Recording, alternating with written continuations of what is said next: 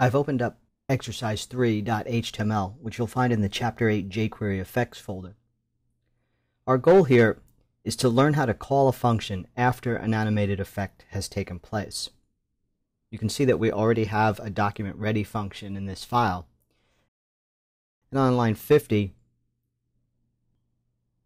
we're changing the cursor to a pointer for this box header div. And directly below that, you have a response to the click of the box header. So this div here is our outer div, and that's the tips for eating out is our header div, and we have some content below that. So we'll be placing some more jQuery code inside of our function in order to animate the collapsing and expanding of that div.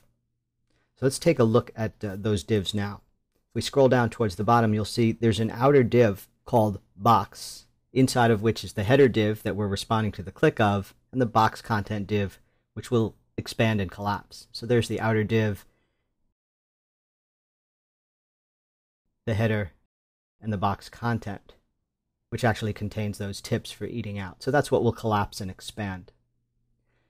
Let's go back up to our jQuery now, and we'll write the body of this function, which responds to the click of the box header that we were just looking at. So we're going to use some jQuery to acquire that part of the DOM or the document object model that we're trying to manipulate.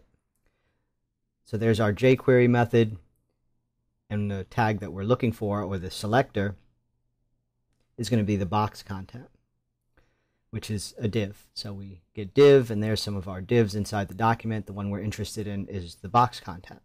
At this point we want to invoke a method of the jQuery object now that we've acquired that part of the document we want and this is called the slide toggle method. So we're going to pass to it the speed at which we want to toggle this div uh, collapse in, in its expanded state. And so we're going to choose a slow speed for that. At this point, we want something to happen after that slide toggle animation is complete.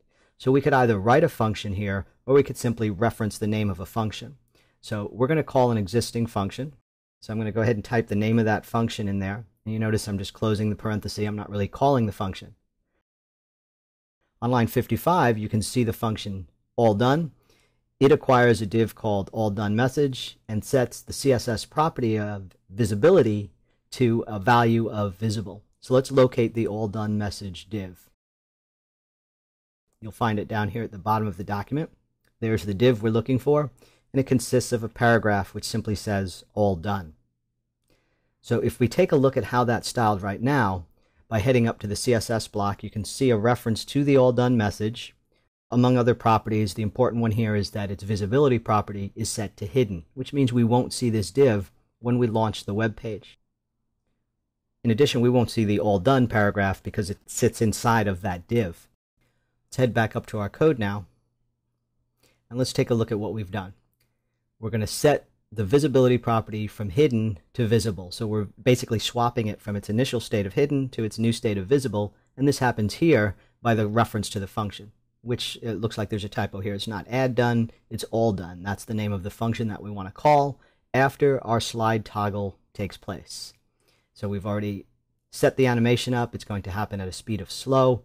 And now what we've done is added to the fact that when it's done, all done runs. So let's go ahead and try that there's the animation, and there's the appearance of the div that was initially hidden because its CSS visibility property was set to hidden and it's now being set to visible by way of the function call that takes place after our slide toggle. Of course, if we toggle it back, we don't have any code there to now swap it back to hidden.